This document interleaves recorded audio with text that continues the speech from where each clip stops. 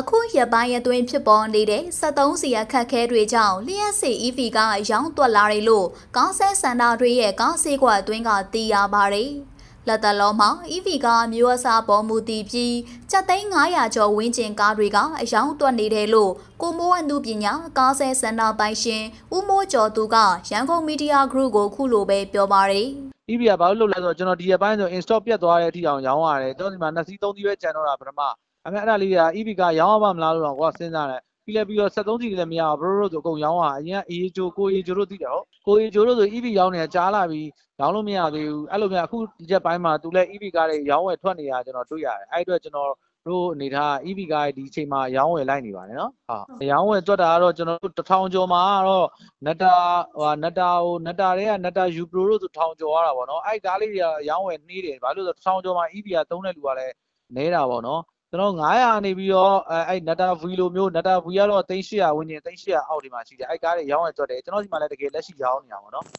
အဲအခုတော့ဒယန်ကားလေးတွေဆိုရင် off road off road ဖြစ်တဲ့အတွက်အဲကျွန်တော်တို့လည်းလက်ရှိရောင်းနေတာသူတို့ဒီမှာဆိုလည်းရောင်းရကြတယ် အဲကျွန်တော်စီမှာလည်းရောင်းဝယ်ရှိတယ်ကိုတော်ကုံဝိုင်းခုလောဆယ်မရှိသေးဘူးเนาะဟုတ်ကဲ့ကားဆေးကွက်ရဲ့15ရာခိုင်နှုန်းခန့်ကို EV ကားတွေကဝေးစုယူထားတာဖြစ်ပြီး EV ကားတွေဟာလျှက်စစ်အားသွင်းရတဲ့အခြေအနေတွေရှိနေတာကြောင့်မြို့နယ်တိုင်းက73စီဆိုင်တိုင်းမှာဓာတ်အားသွင်းတဲ့နေရာတွေရှိတဲ့ဆိုရင်အခုထပ်ပိုပြီးအယောင်တွက်လာနိုင်တယ်လို့ဦးမိုးကျော်သူကအခုလိုပဲဆက်ပြောပြပါတယ်စီကားတွေ73စီကအခက်အခဲဖြစ်တယ်ဆိုတော့ EV ကားဘက်ကိုလှည့်လာတယ် ဒါပေမဲ့ခဏပဲဘာလို့ခဏပဲလဲဆိုတော့ကျွန်တော်တို့အခက်အခဲရှိတယ်ဆိုတာလည်းကျွန်တော်ခဏပဲလေအမြဲတမ်းအခက်အခဲမရှိဘူးအမြဲတမ်းအခက်အခဲရှိရင်တော့သိကြတယ်အမြဲတမ်းလိုအပ်ချက်ရှိနေမှာပေါ့နော်ဟုတ်ပြည်တွင်းကို EV ကားတွေတင်သွင်းတဲ့အခါမှာအခွန်နှုံးထားတွေကိုတုံညရာခိုင်နှုန်းအထိရှော့ချသတ်မှတ်ကစတင်တင်သွင်းခွင့်ပြုခဲ့တဲ့2023ခုနှစ်ဇန်နဝါရီလကနေအောက်တိုဘာလအထိအစီးရေ